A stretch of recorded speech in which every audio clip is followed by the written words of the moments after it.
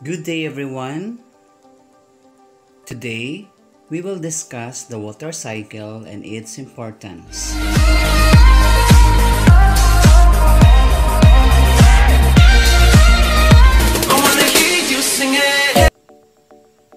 We all know that water comes from many sources like ocean, seas, rivers, lakes, and among others.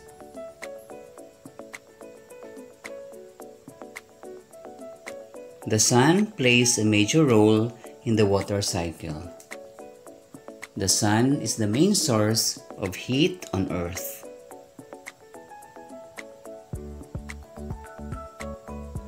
When the Earth's surface is heated, evaporation takes place in the bodies of water and on land.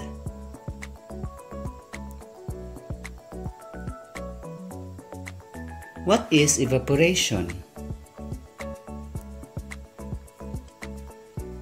Evaporation is a process by which water is changed to gas.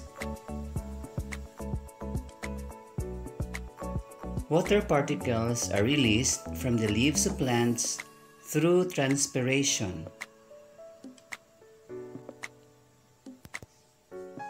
Animals and humans give off water particles when they perspire and during respiration, which evaporate in the atmosphere in lesser amounts. Paano nga ba nasisimula ang water cycle? Sa water cycle, mahalaga ang araw. Alam naman natin ang araw ay ang pinaka pinagkukunan natin ng init, heat, and light. Ngayon, magkakaroon ng evaporation sa simula. So, ibig sabihin, water galing sa mga lakes, galing sa mga seas and oceans ay mag-evaporate. Meaning, yung water will be changed to gas and that is what we call evaporation. Galing sa mga puno o mga halaman na tinatawag nating transpiration at sa mga tao kapag tayo ay nagpe-perspire at sa mga hayop, ang tawag naman doon ay respiration. Now, after evaporation, what comes next?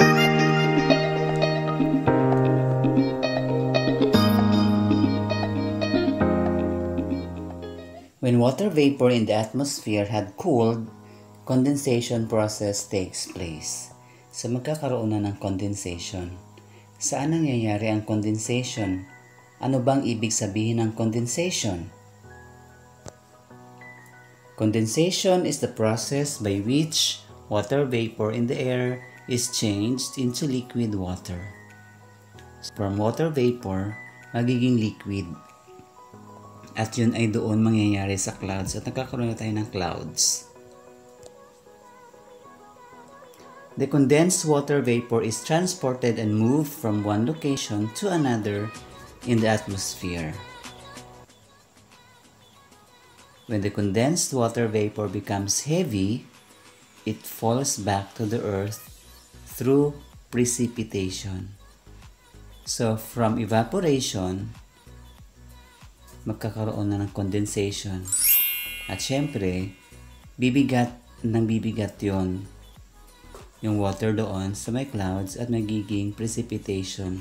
Ano bang halimbawa ng precipitation? So precipitation is a form of water through rain, snow, sleet, hail that falls to the earth's surface.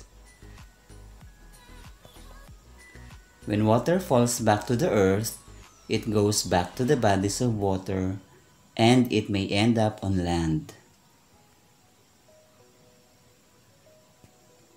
It may run over the soil and collect it in the oceans, lakes, or rivers where the cycle starts all over again.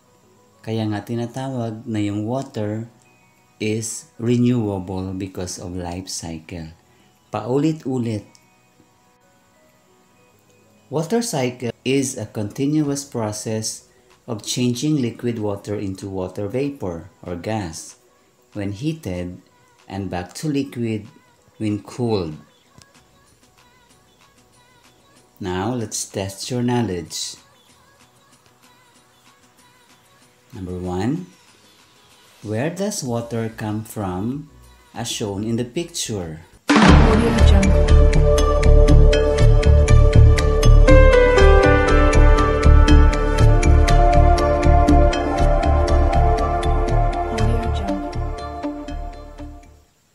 Water comes from different sources like seas and oceans, rivers, lakes, groundwater, etc. Number two, what are the processes involved in the water cycle?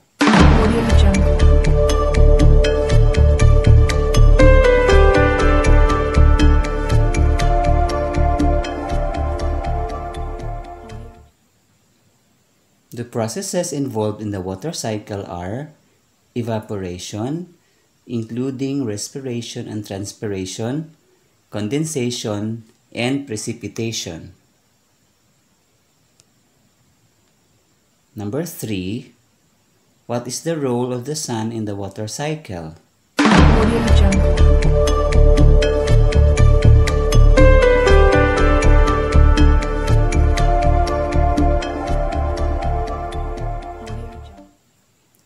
The sun is what makes the water cycle work.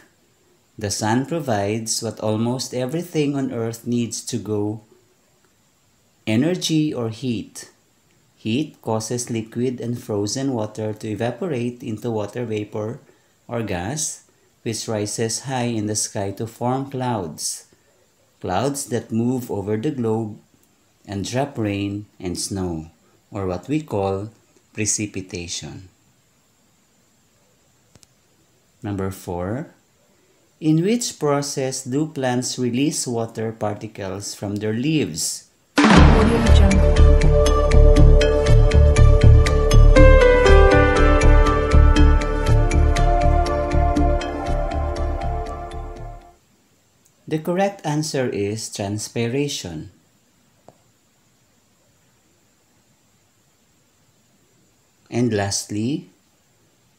When does water vapor change to liquid?